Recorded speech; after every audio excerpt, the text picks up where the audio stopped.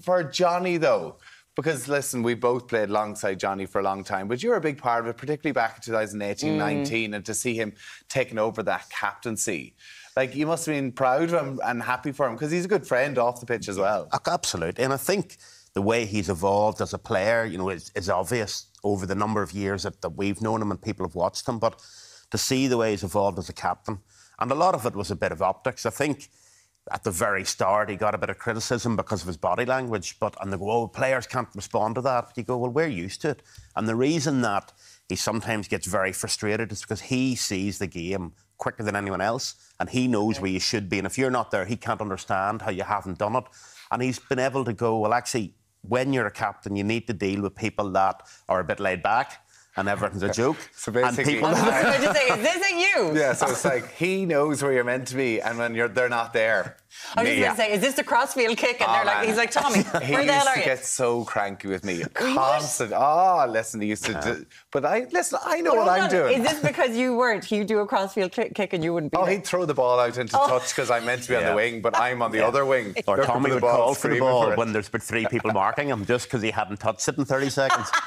Yeah, well, That seems about that's right. what Johnny said about me. He says the best thing about Tommy is that he always wants the ball. The worst thing about Tommy, he always wants the ball. What's the ball? Um, but did he? Did you go to you for leadership? Like, did you help him in that? Because you had been there, like, and and that was one of the best parts of your game is that actually you were able to manage that. Yeah, I think with with Johnny, he sort of you have every time you're speaking to Johnny, and this is why he's so good. He just takes things in. It's not necessarily that he comes to you for advice. Like we like we would spend quite a bit of time together. Um, certainly post my retirement, I'm trying to get him to play a bit more golf, but he doesn't have time. He's always injured, so he doesn't get a chance to do that. But every time he speaks to you, he listens, and then he kind of you can see him nearly working out in his head, going, "Well, how can that help me, or how can I use that?" But he's ultimately his own person, and he's always Yeah. been a big leader within that team, Yeah. whether he was captain or not. And to see the way he's responded to captaincy in this last sort of two years that Ireland have really flourished, and the fact that he stood up. And Mm-hmm. he's also doing all the like he's kicking really, really well, which is hard when you're the Mm-hmm. captain and the referee gives a penalty.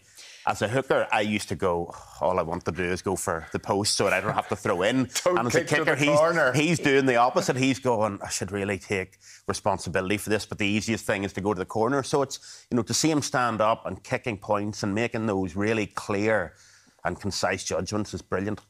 And when you're looking at this, because I've been speaking to you about this an awful lot, it, an, an awful lot is being made of the management team and the the smiles on the faces of lads from the age of 37 to 20 years old. Like it's a, it's a there's a lot of talent coming through, loads of different ages. And you've you've done management yourself, you know, been mm-hmm. involved with Fiji and all that kind of stuff.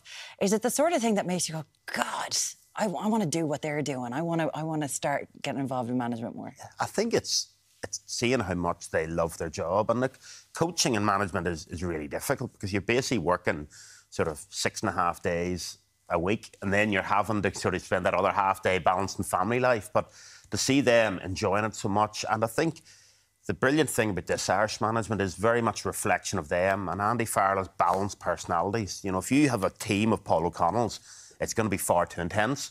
But if you drop the intensity of Paul O'Connell in with, say, John Fogarty, who's very good at what he does, but he's very laid back. He loves a bit of crack in the middle of it. So everyone gets a bit of a balance. The whole Yeah. management balance, you see it from different angles. And, and I think that's the brilliant thing about what Andy's done. He's, he's, he has created this balance whereby they train, but they also get, when they're off, they're off. It's just totally relaxed. Yeah. You don't, you're not expected to do anything because they want you to do the way you would be in a club, where you train from whatever time in the morning to whatever time you finish in the afternoon. And then it's go home, relax, not go home, go back to the hotel and treat it like you're going home. Yeah. Relax and don't go. There's not meetings thrown in left, right, and centre. It is Yeah. you're They bring off, a cow up switch the room for you to go milking the cow so Absolutely, that yeah. you can be at home. Anything. yeah.